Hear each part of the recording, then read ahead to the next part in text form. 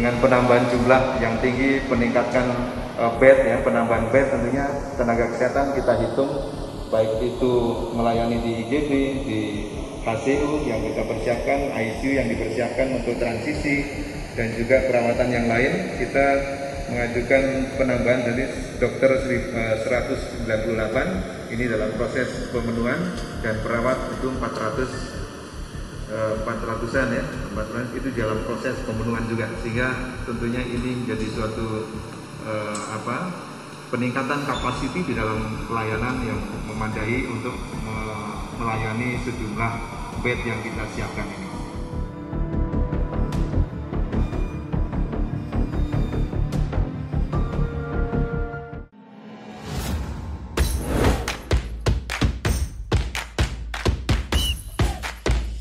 Ayam kalau diaduk-aduk jadi cair.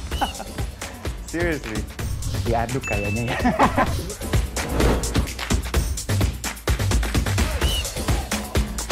Perlu luar negeri gimana ya? Ini demi kemajuan bangsa Indonesia.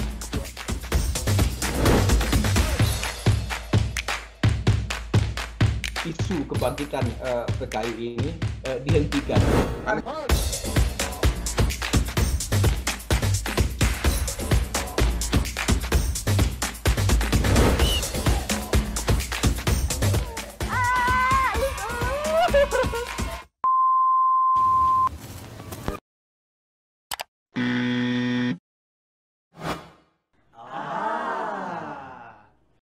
Medcom.id, a part of Media Group News.